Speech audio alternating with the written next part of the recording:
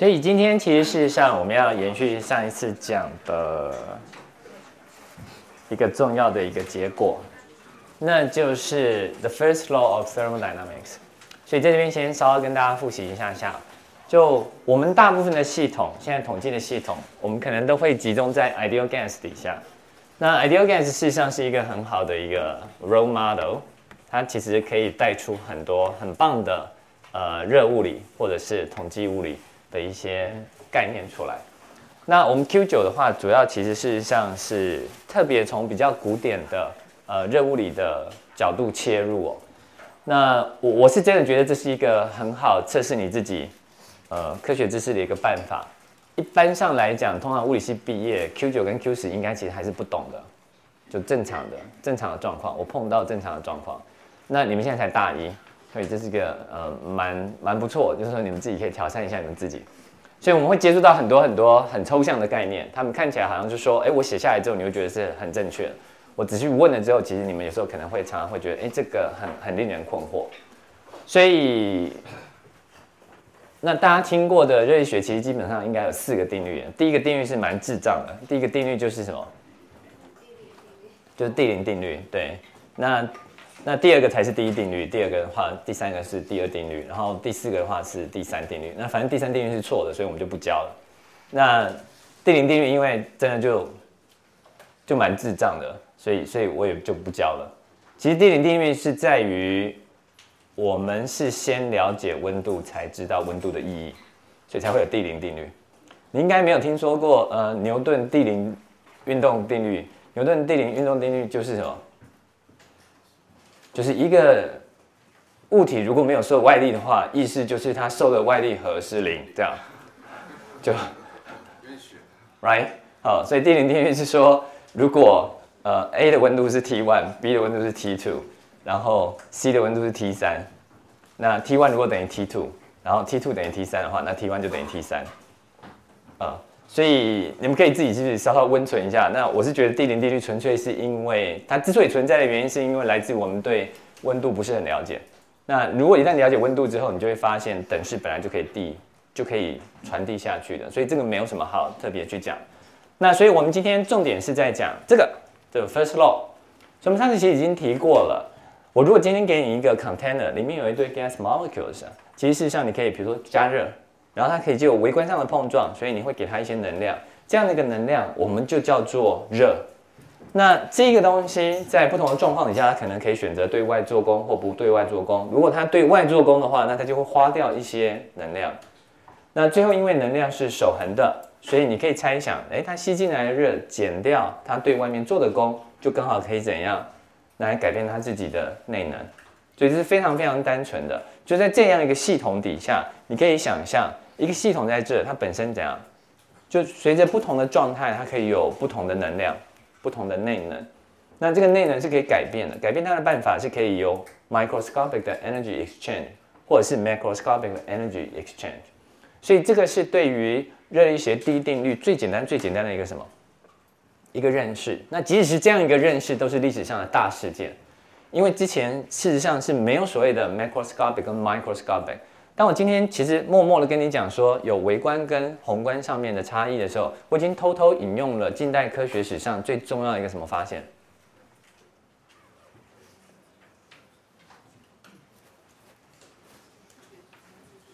嗯？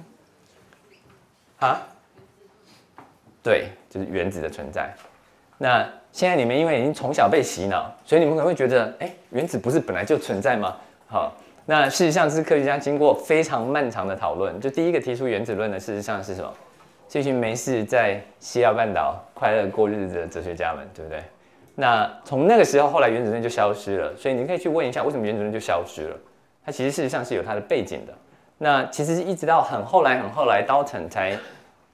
基本上在某程度上非常大力的去 propose 说原子论可以解释很多很多科学上的现象，所以你们现在 take it for granted 觉得有 macro 跟 micro 的差别有没有？在那个时代事实上是是很令人困惑的概念，所以一开始 heat 其实是被当成是一个能量这件事情都花了很多力气我们在证明，然后最后第一定律的出来，其实在某一个程度上只是一种什么？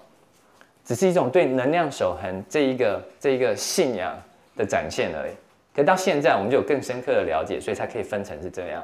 那这样的一个了解，其实如果我们有机会的话，等到我们讲到 Q10 的时候，你就会发现，呃，这个还有更深层的了解，因为这是非常古典的了解。那你你可能最后可以问说，如果 macro 跟 micro 没有区别的话，那 he 跟 work 就没办法区别了吗？答案是错的，he 跟 work 有更深刻的差别。OK，好，那所以我们先学第一阶段的，the difference between macro and micro is 就是这个 visible change in TV。那什么是 TV？TV 不是电视这样，TV 是 thermodynamic variables。好，OK。所以这个其实就是整个难的地方。那你可以回家问一下你自己，就说如果今天要随便问你说，哎，P 是什么 dynamic variable？是。V 是不是？是。那 T 是不是？是。好，那每一个 gas molecule 的质量 m 是不是？不是。如果你只是就是开始就是把答案拿出来，那你回答是不是的话，你发现这个是非题还蛮简单。可如果你今天要认真坐下来问一下你自己，我给你一个很多个 particle 的时候，什么是 thermodynamic variable？你就突然发现，其实那些问题不是那么难，不是那么简单的。所以它其实事实上是还蛮深刻的一个概念。你们可以回家稍稍就存一下下。可是这个是目前我们上一堂课教过最重要的一件事情。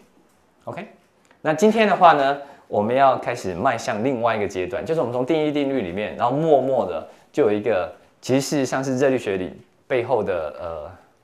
的 Queen 吗？嗯，还是 King？他就要出场了，这样。事实上，现在出场的这些都是配角，这样。啊，所以主角还没有出来。OK，那我们现在就来看一下，就是从第一定律，然后我们慢慢研究，最后它怎么慢慢的冒出来。所以我们上次研究的是这样的一个状况，就是说我这里面有 gas molecule，然后呢，我跟一个什么，跟一个很大的东西做热接触。然后这个东西是等温的，也就是这个温度事实上是 T，它其实是 constant。那这样的一个东西，我们有一个比较有趣的名字叫 isothermal，就是同温的意思。所以同温过程就是等温过程。所以这是一个 isothermal process。那我们上次其实已经认真的算过了，在这样的一个状况底下，因为它是 isothermal，然后是 ideal gas。所以 delta U 是多少？事实上是零，对不对？那我们算出来，我们其实事实上是算 W 等于多少？那 W 算出来之后是等于 N K T log V two 除上 V one，对不对？然后这个东西呢，刚好也等于 Q。所以它会做等温膨胀，事实上是什么？是它吸的热。然后因为它内能没有改变，所以它吸的热就拿来怎么？就拿来做功。那做功的话很简单，做功的算法其实事实上就是把 P 写成是 V 的函数，然后把那个积分算出来。所以那只是数学问题而已。OK，所以它蛮单纯的。那我们接下来看一下，我们今天要做的呢是另外一个，就是我有同样一个系统，可是我现在怎样？我现在把它隔绝在呃宇宙其他的热源。也就是没有热，没有没有其他的热会进来，也没有其他的热会出去，所以这样的一个状况底下，我们说什么？我们说 Q 事实上是等于零的，就是没有 heat exchange。然后它有一个可爱的名字叫 adiabatic process，所以 adiabatic 就是绝热的意思。那在这边的话呢，你可以去问说，嗯哼。那我在这里，我怎么去描述这个系统？所以因为 Q 是零，所以你当然可以直接从这个 first law 跑出来，所以你就知道 delta U 应该就等于负的 W，对不对？那我如果今天考虑的是绝热的膨胀，意思是说 volume 事实上是慢慢变大，所以这个系统事实上对外面是做正功的，所以 delta U 事实上就会怎样？就会小于零。所以你知道，如果我今天去做 adiabatic expansion，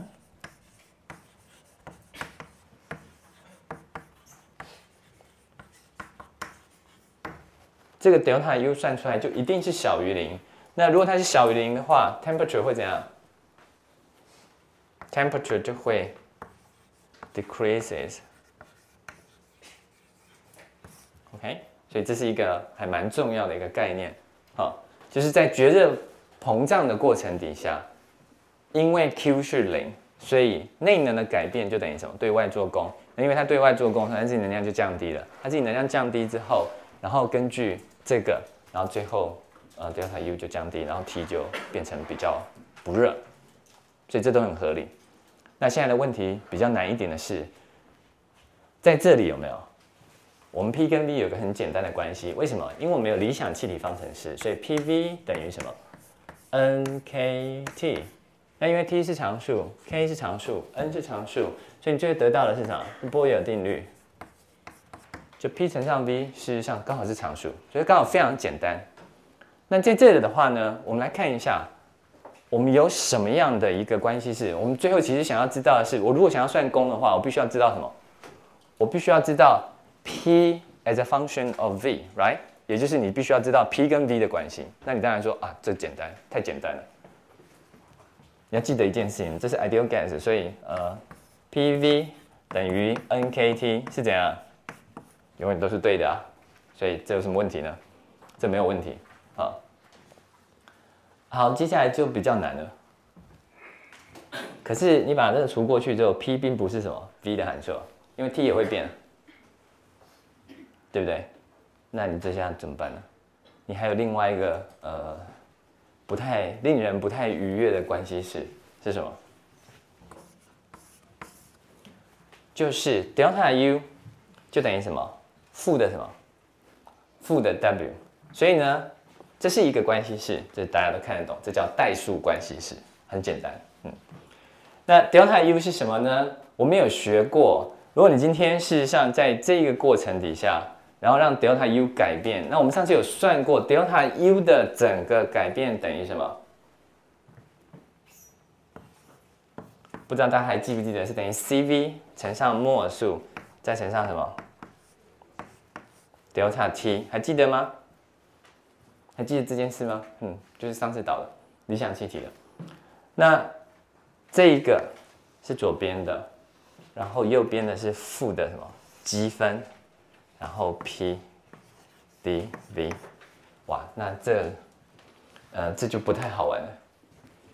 所以你现在要求出 P 跟 V 的关系是，它们真的有关系的。它们有什么关系呢？首先第一件事，P 乘上 V 等于 nKT，对不对？所以这是一个关系式，那你唯一一个困扰是，哎，T 怎么办？没有关系，T 满足什么关系式？两个之间 T two 减到 T one 乘上这个常数，这只是一堆常数而已。好，乘完之后等于多少？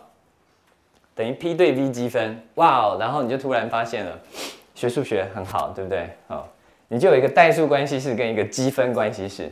那通常对大部分正常，你们现在大一的程度。你就挂在这，你就不知道该怎么办了。就我给你一个联立方程式，第一个方程式是代数方程式，第二个方程式是什么？积分方程式。那通常你就不会解，对不对？嗯。所以你现在就突然觉得，哎，在这个过程里面刚好可以解出波尔定律，实在是很很令人感动的事情。所以我们现在其实接下来要解，就是在 adiabatic expansion 底下，借由解一跟二，认真的解完，把 T 消掉，OK。概念上很容易理解吧？这有 PVT，这也有 PVT，那六种关系式，你总是可以怎样？你总是可以把 T 消掉，最后就得到一个 P 跟 V 的关系式。那这个关系式是这样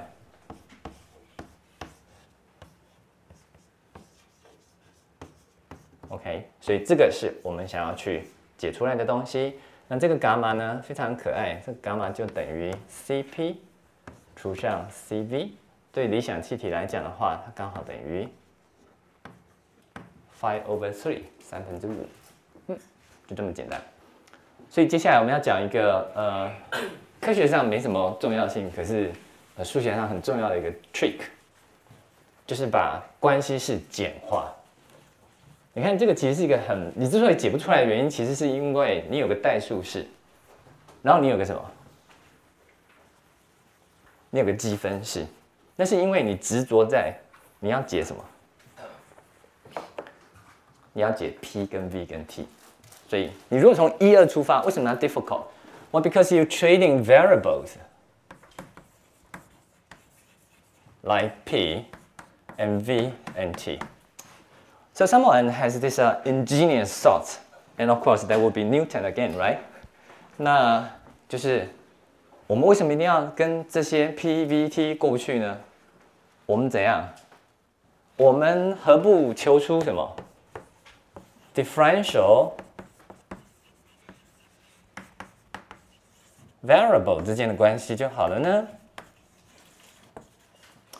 那 differential variable 是什么？differential variable 就是 dp dv dt。OK，所以这就是很高的一个境界。就是说我干嘛没事一定要去知道 p 跟 v 跟 t 呢？我只要知道什么 p 的改变跟 v 的改变跟 t 的改变，很小的改变，which we call infinitesimal changes。基本上就是物理学最重要的记号 delta 有没有变成很小的时候就变成什么？就变数学微积分里面最重要的记号是什么？就小 d 啊。其实精神上是一模一样的。那我如果今天去取这个关系式的话，你待会会看到为什么我今天去看这个小小的关系式，它就变得很简单。因为你知道，大人之间的关系是很复杂的，可是小人之间的关系是很简单的。比如说，小人可不可能等于另外一个小人的平方？这是不可以的。因为小人平方就太小了，就不见了，所以小人只能跟小人怎样有线性的关系。所以我还没写下来，我就知道 dp、dv 跟 dt 这样都只会出现一次，所以它只是线性代数，然后你就把它解一下、消一下。所以你只要可以解到这个之后，最后你就变得很快乐。那然后天下没有白吃的午餐，所以你付出的代价在哪？你如果解出 PVT 的关系，你解完之后答案就写出来了。如果你解 dp、dv、dt 的话，你解出来变成什么？比如你最后解出来是 dp 跟 dv 的关系，那意思就是你得到一个微分方程式，所以你要会去解那个微分方程式。可是微分方程式这种东西你不会解，你也有同学会解啊，你就查一下就好了。好，所以它就变成非常方便的一个概念。所以接下来我其实事实上就要讲这个 trick，这个 trick 事实上是非常非常的好用。所以你下次如果得到很困惑的时候，就要记得一件事情。这个事实上是什么？这个事实上就是说，当你今天去做一个决定，然后去看三个不同的变数，其实不是只有在科学上有用，在人生里面也很有用。你就 get very confused。比如，如果突然想说，哎，五十岁以后我要干嘛？以你们现在年纪，以我来讲，现在就很简单，因为我快接近五十岁了，这样。然后你们就会觉得很困惑，因为有太多原因啊，对不对？可是，如果你只是问说明天早上起来你要干嘛，这通常就会变得比较简单。然后要记得一件事情，就是你明天早上起来要干嘛这件事情，如果你一直重复的做，就是做积分，积完之后就会得到你五十岁在干嘛啊。所以你不要误以为说你今天偷懒不会有报应的，no，你人生任何一个时刻偷一次懒都会有报应的。呃，而且如果你养成偷懒的习惯，哇，那包应就很大，因为如果把它积出来之后，它是一个巨大的值，这样好，对，嗯。But on the other hand，如果你人生里面有任何一点小小的努力的话，你最后就会发现，呃，他就跟 Steve Jobs 跟 Stanford 的学生讲的一样，你在往前走的时候，you're doing every single dot in your life。有时候你其实不是容易看得出来这些 dot 之间有什么关联性的，可以等你回来回过头再去看的时候，你会发现这些 dot 自己会连成一条你人生的轨迹，这样。所以就是就是套句话说，就是呃，凡走过必留下痕迹，这样。所以你是努力的走过，还是混的走过？呃，反正最后它就会展现在你后来的积分结果上面。So 啊，it's pretty interesting actually。嗯，好。一大早就恐恐吓学生，真是坏老师。嗯，好。所以我们现在来看一下，就这样的一个状况呢，呃，我们怎么去去把它真正的写下来，好不好？那我们先写第一个。好。第一个的话是 PV 等于 nRT。那我们就怎样？我们就看小小的差异。我们看小小的差异，其实基本上就是什么？就两边取 d。我们看，如果两个相等的话，那 PV 的差距就等于什么？就等于 nKt 的差距。那在这的话要稍稍教一下大家，其实取 d 就跟微分是一样。所以 PV 的差距就等于什么？就等于底前面乘后面加上底后面乘前面。所以事实上是 VdP 加上 Vd。哦，sorry。重写一次，加上 p dv 就等于什么？那 nk 是常数，所以就提出来就好了，所以就等于 nk dt。你们注意到一件重要的事情？As I promised，所有的 dp、dv 跟 dt 都怎样？都只出现一次啊，所以是线性关系而已，对不对？那你就把它解一解就可以了。那第二件事情是，哇，本来那个恐怖的积分现在变什么？哎，它也很简单。对不对？那个 delta t 在取很小的差距的时候，就只是什么？就是 n 乘上 c v dt，对不对？然后右手边那个东西等于什么呢？当那个 delta t 很小很小很小的时候，你积一个很小很小的东西，就跟没有积是什么是一样的，所以它就是什么？它就是负 p d v，就这么简单而已，多简单啊！你不信的话，你就回去就把这里挂一个积分符号，这个挂一个积分符号，然后积分 dt 就得到 delta t 啊，对不对？然后积分 p d v 就得到一个，反正你不会算的积分啊，就是就是挂在那里的负积分 p d v 这样。所以你可以看得到，如果你今天其实用到这个简单的概念。哎，你就突然发现了，你现在的变数是什么？现在的变数是 dp、dv 跟 dt。那你现在想要把它消掉之后，你就会觉得，哎呀，这个没有这么困难啊。这就是三个变数 x、y、z 啊，这就是就是三个变数，可是有一个自己阵亡。所以你现在把 dt 消掉，trivial，right？你就这里乘上多少，这里乘上多少。那因为我在这边已经用了默数，所以我在这边，请原谅我默默的呃改成化学家的。N r 好了，好吧，嗯，那我们现在就来看一下你怎么把两个结合在一起。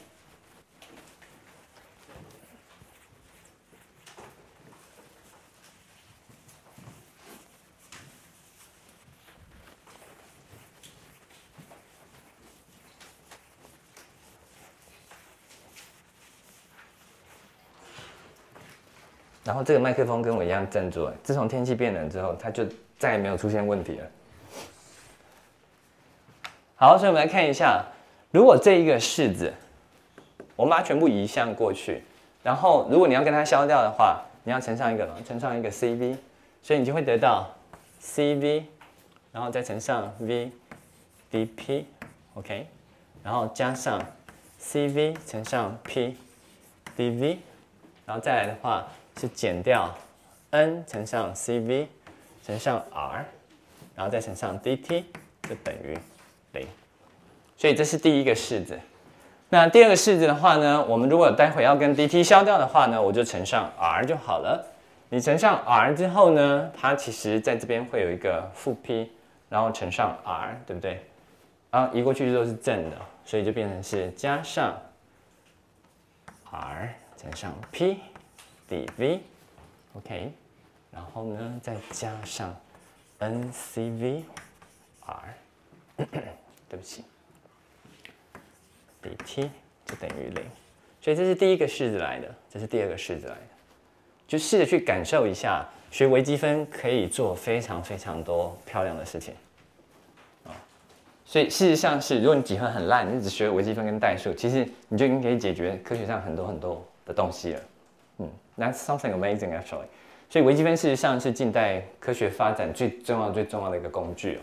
所以你这边把它加在一起，然后我们就不要废话，然后就发现这两个消掉了。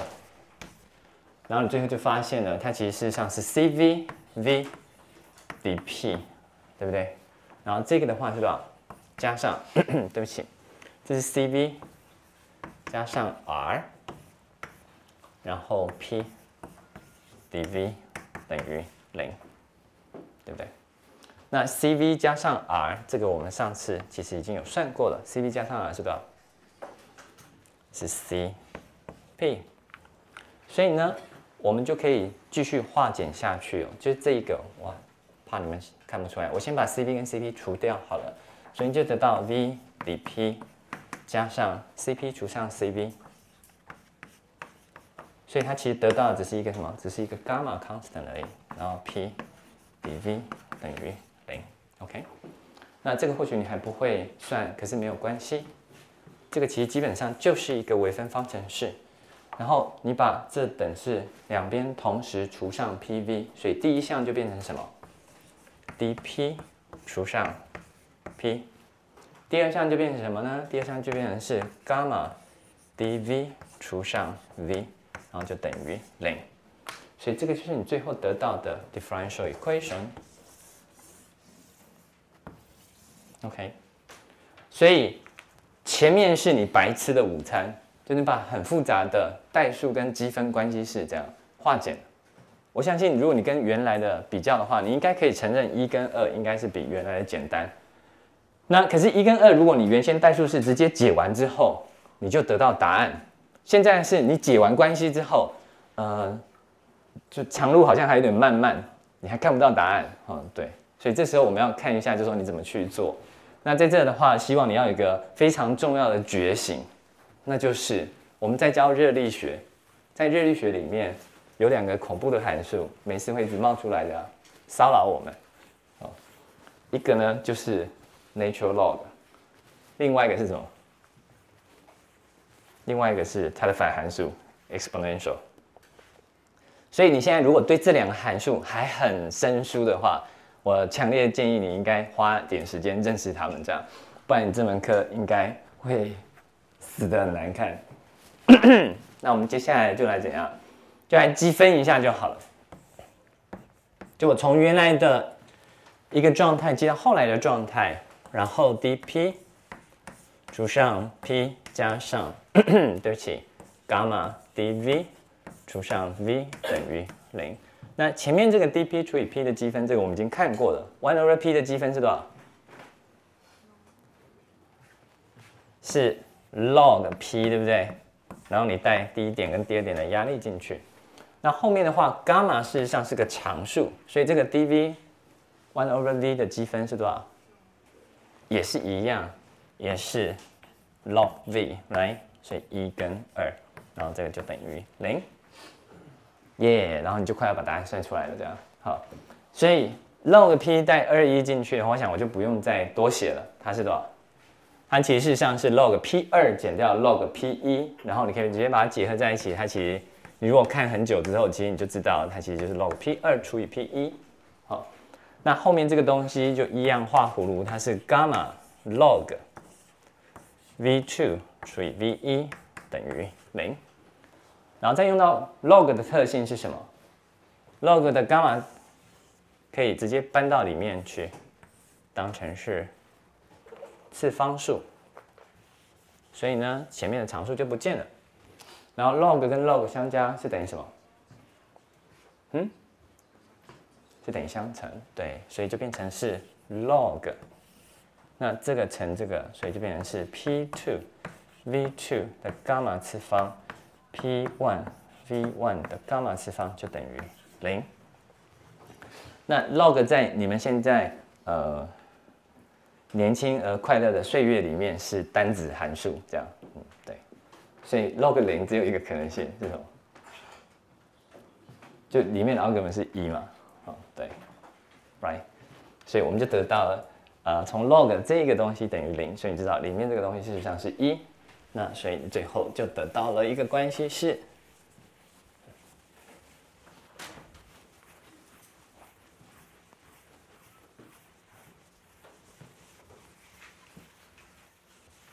你得到的这个关系式就是 p two v two 伽马就等于 p one v one 伽马。可是当然，我我其实没有指定。就是 v two 或 v one 是多少，所以你知道对任何的在 adiabatic line 上面，其实基本上你的 p 乘上 v 的伽马次方是什么？就是常数。所以在这视觉上的一个结果是重要的。那因为我是呃很 nice 的老师，这样，所以我们在考试的时候呢，你会记得一件事，我从来不会把 v 跟 p 图倒过来画，欺骗大家的感情，这样，好，它就是 p 跟 v。你要记得一件事情，科学用图表的方式其实是带来沟通的效果，而不是拿来考大家的。所以对于那种没事在考试的时候把大家都用习惯的 x t 图倒过来画这种事情，这种人应该真的应该去撞墙的，就是他完全不知道我们画图的精髓是什么。科学家画图是为了便利沟通，不是为了制造困扰，这样啊，所以我们的 p 跟 v 的图永远都会长这个样子。因为有人倒过来画，我下面讲的结论就刚好相反。你要记得一件事情：P-V 是常数的时候，画出来的曲线是长这样的，OK？所以，比如说，如果你今天是同样的从 V one expand 到 V two 来的话，如果这个是 isothermal，我是用 B 还是用 C？我看一下。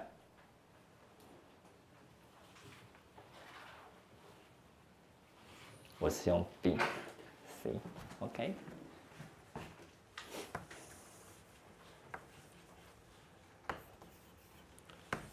如果今天这一条线你是用 isothermal 的话，它画出来其实就会比较平缓一点。哦，也就是它没有那么陡。那如果你今天是用这个 adiabatic 的话，它画出来的线是比较陡一点的。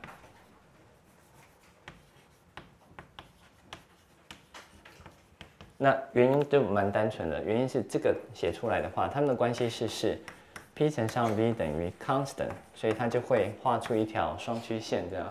那这条线弯弯的，可它不是双曲线，它是什么？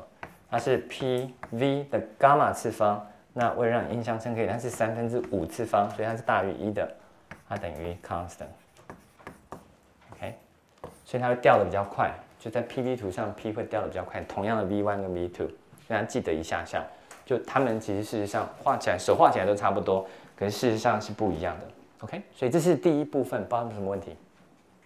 就有关于 adiabatic 里面，我们其实事实上从整个概念里面最后可以得到就是呃 p 乘上 v 的伽马次方事实上是常数。那这个结果本身其实除了很有用以外，你要记得一件事情，我们用到的数学的技巧其实是。其实是很棒的，就是这样的一个精神，其实应该是在微积分课教，不是在我这门课教这样。就是它其实本身比较像是数学上漂亮的一个概念，也就是说，你今天用微分的关系下去算之后，你可以把所有变数之间的关系怎样线性化。那你只要把一个问题线性化之后，通常的问题就变得非常的简单。OK，嗯，这是这背后解出来最重要的 trick。曲线画出来，中间加那个面积是就是外界给它，就是那个那个就是有加热那个部分，因为一般没有被加热到。哎，这么比它多出来那块面积就是它被加热。哎，是啊。哦。嗯，对，很好，对，所以现在已经开始有人可以视觉化的用，所以这是为什么我们画 PV 图，因为 PV 图上面曲线绕出来的面积有没有？是什么？不会算没有关系，可是你最后会知道它是公。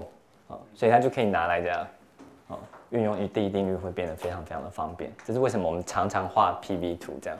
我们如果画其他的图，像 VT 图或者 PT 图，那一定是什么？那一定是有其他的原因，我们才会画那些图这样。嗯，好，有没有什么问题？Good，好。那如果没有问题的话，那接下来我们已经知道这个关系是，我知道 P 跟 V 之间的关系，那剩下来就很单纯，我们就来算 W。因为这个其实是我们当初为什么想要去算，就是就是去求 p 跟 v 的关系最重要的一件事情，所以它你就变成是 p dv 对不对？然后比如说你今天就从 v one 然后记到 v two，那 p 是什么呢？因为 p 乘上 v 是常数，所以它就等于什么？就等等于常数 除上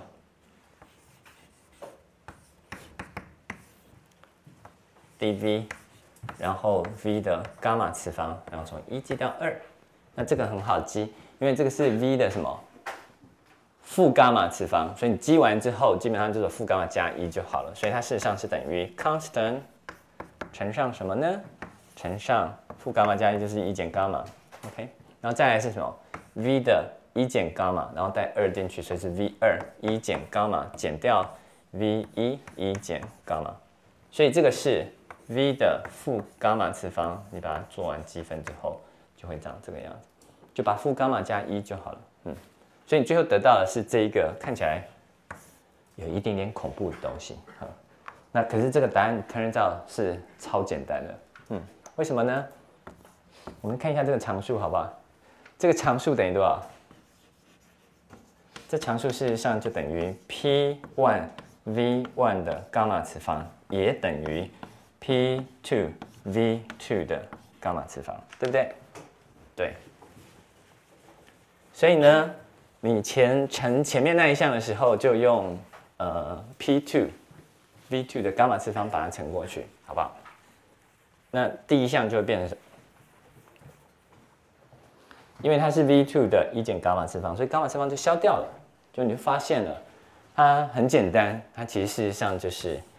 一减伽马分之一，OK，然后再来的话呢，对不起，它事实上你把它乘进去之后，它其实就是 p two v two，刚好就不见了，超简单的。那第二项是什么？第二项其实就是减掉 p one v one。那因为我默默的在心里面知道伽马是什么伽马是正的嘛，所以一般我们不要跟正负号，呃，对，过不去，所以我们就倒过来写，好不好？那 P one V one 的话是多少？是 N R T one。然后 P two V two 的话是多少？是 N R T two。耶，然后你就就把它写完了。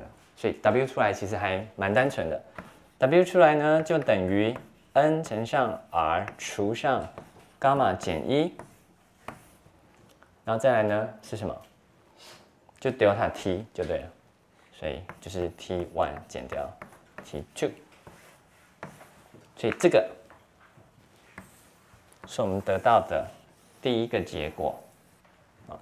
那我们用偷偷的用第一定律知道，因为 Q 等于零，所以我们知道 delta U 应该等于负的 W。哦，by the way，在 expansion 的时候，你从这儿跑到这儿来，对不对？那你从这跑到这来之后，其实 T one 是这样，T one 是比 T two 大的，所以这是为什么我前面才这样写。那 T one 减到 T two 的话是正的，然后这也是正的，好，所以 W 事实上是正的。那我们期待它是正的，因为事实上我现在在算的就是什么，就是这一块的面积。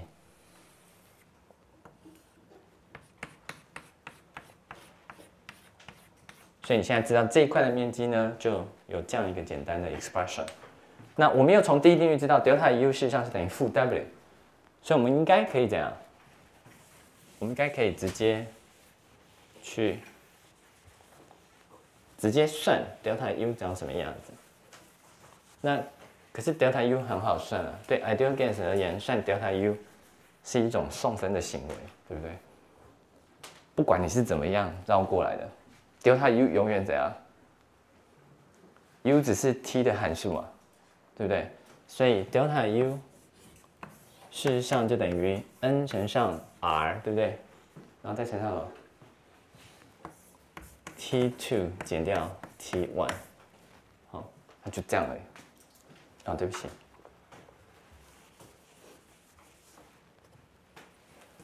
，n 乘上 specific，he OK，然后是后面的，所以是 t two 减掉 t one，它就长这样。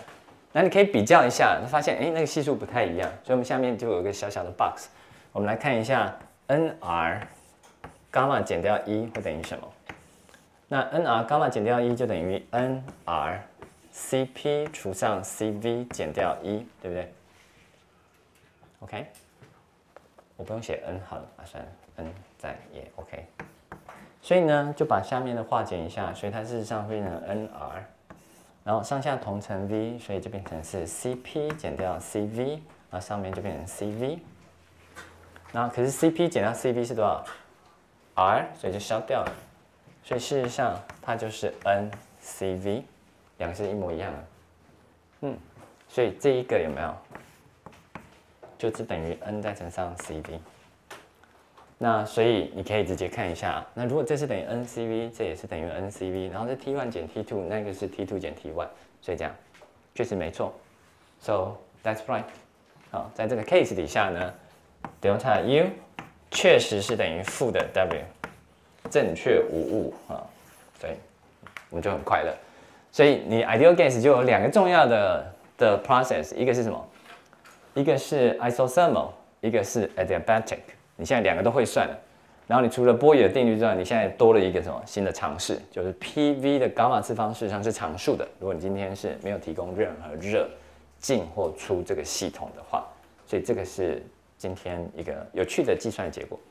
那你在这边其实就可以默默的想到一件事情，因为我现在其实事实上是用十九世纪古典的热力学在跟你们教这件事情。好，那你们就会发现，我们从头算到尾，我们从来没有怎样。我们从来没有直接算 Q 过，对不对？你去看一下，在在 isothermal 的时候，我们就说，因为 isothermal，所以 delta U 是零，所以那也是算出来的。那事实上是 delta U 事实上是等于 n C V delta T 嘛？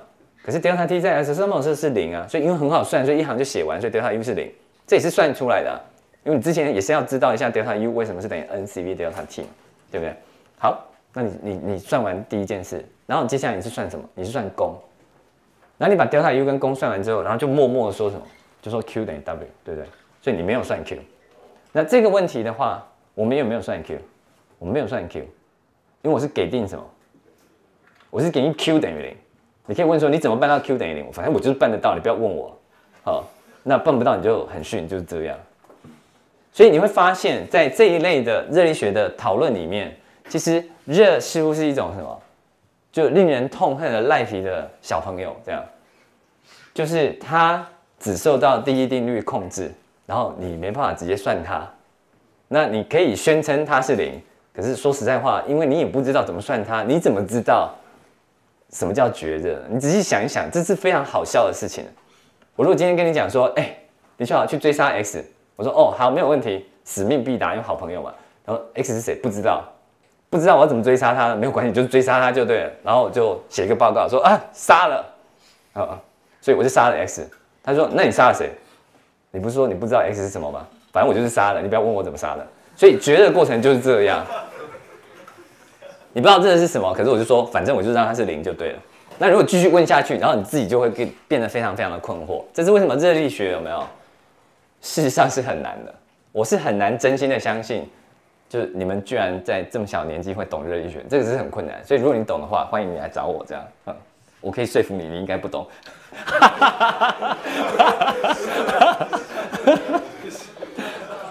真的太坏了，嗯，好，怎么有这种烂老师呢？对不起，对不起。好，可是热力学好玩的地方就是，你虽然不懂，你知道吗？你还是可以做出引擎出来，你还是可以算出引擎的效率的。好，接下来的问题就就很难了哦，嗯，所以我们上课上到现在，基本上前面是稍微复习一下第一定律是什么，接着我们上说，哎，怎么样把一个代数跟积分的关系式用微分的方式算出来？那你付出的代价就还蛮小的，就是你得到微分方程式，微分方程式也没有很恐怖啊。我知道各位同学有人居然在 BBS 上乱抛说，你去老师教课，然后教教就教了微分方程式，微分方程式，微分方程式很难哎，这微分方程式有什么好难的？微分方程就很简单，f 等于 m 就是微分方程式。你你以前如果觉得很难，你国中就应该抱怨了，呃，好。所以你只要把微分方程式解完，我们就知道了。接下来我们要解的这个东西，哎，就就真的很难了。如果前面这个东西叫做不懂，可是还有尝试可以带领你的话，下面这个东西就是不懂，而且还没有尝试，呃，然后你要越想，通常会越困惑，好不好？所以我们就来看一下这恐怖的魔头，这样。那这种魔头，其实我我其实事实上，嗯，对，如果是可以不教的话，就普物通常我们不会教魔头，你知道吗？因因为又教做大家就很沮丧，大家修普物已经很辛苦了，对。可是这没有办法，热力学呢，就就只有一个重要的人主角啊，他主角就是 entropy。所以为了尊敬他起见，呃。呃，entropy 我们特别保留 s 这样，啊，super。那中文的话叫熵，所以我今天其实要去教一下为什么中文当初翻译翻成熵。那当然，entropy 目前的意义已经超过熵这个概念，所以很多人试着去改中文，给他们改出来的东西更烂，所以我们还是沿用这个好了。所以这个火字旁的熵其实是告诉你什么事呢？这个火字旁其实是一种示意的，这是说文解字嘛？哦，对。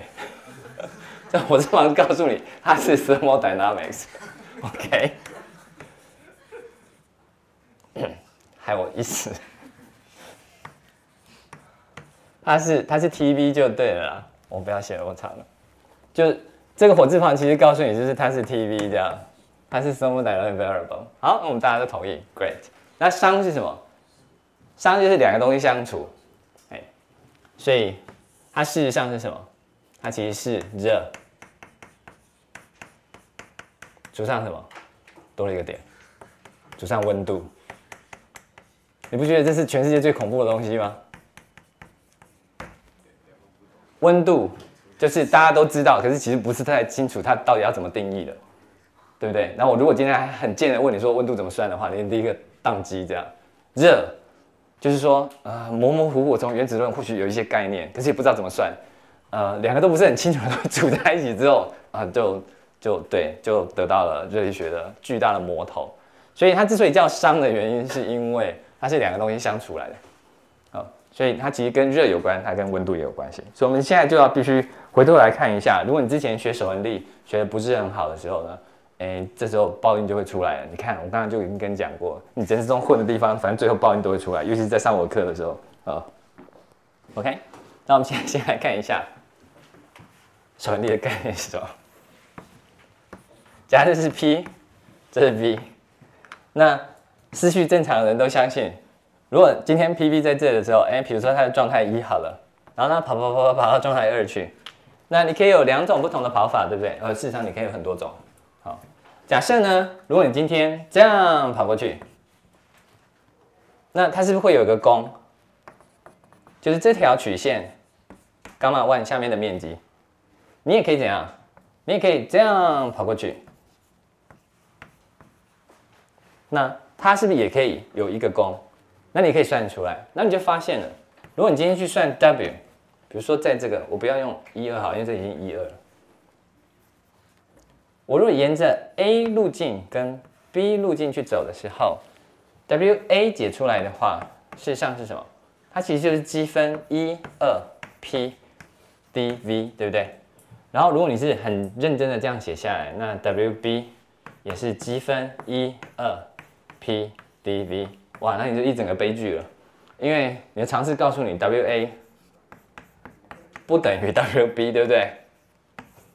好，所以这样的一个写法在这里的时候呢，就不是很正确。所以这个时候我们就要回到，哎，我们学力学的时候有个很棒的写法，这这个跟其实事实上定义功基本上是一模一样的。这叫什么？这叫伽马 B。所以不是只是端点值而已哦，而是跟整条路径有关啊，这也是一样。这是伽马 A。那你当然可能会突然默默的就想，哎，那我在算绝热跟等温的时候，为什么不需要做这件事？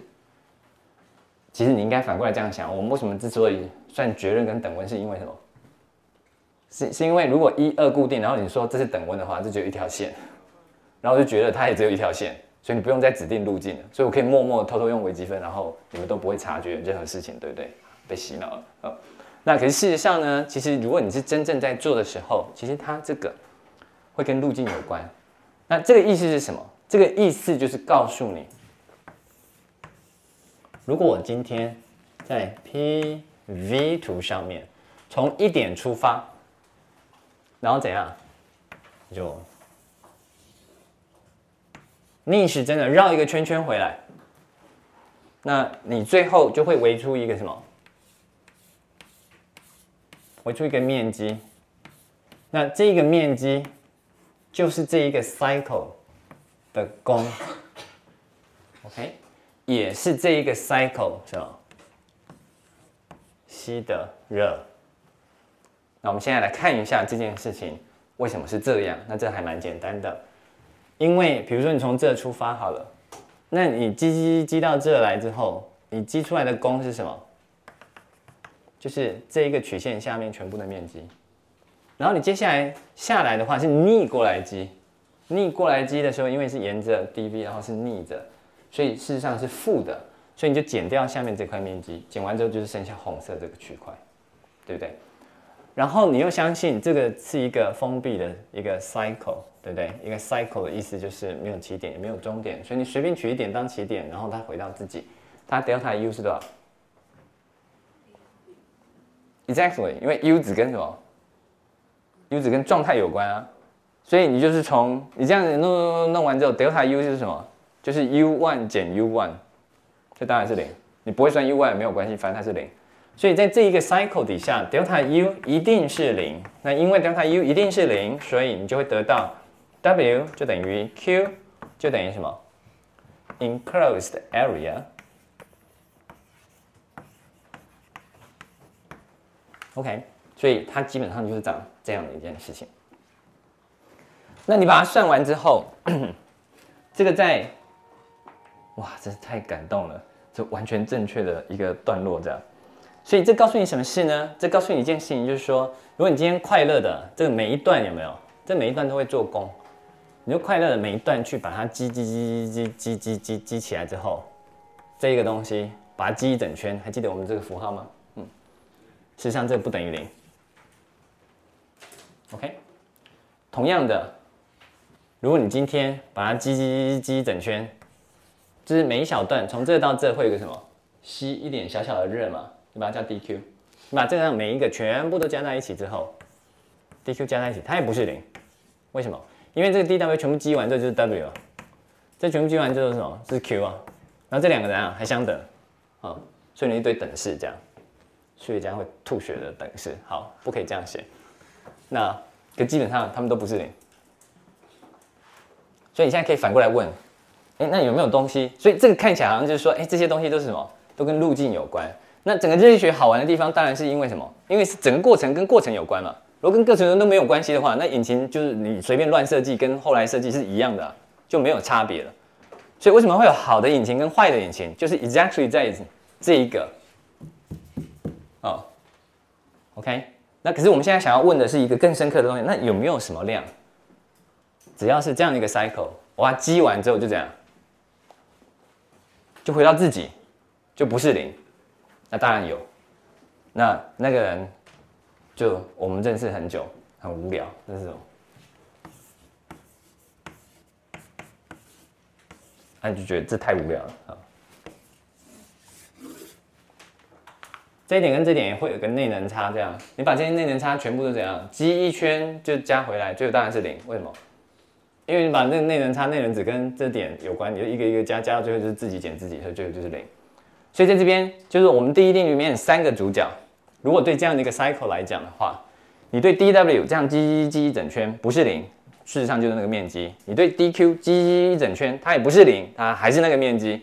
你对 u 积积一整圈，它是零。OK，好不好？所以这个是这一堂课，我们暂时停在这。那么接下来当然就是下一堂课，我们就可以来看，呃，暖场跟暖酒，我们就可以来看 entropy。好，谢谢。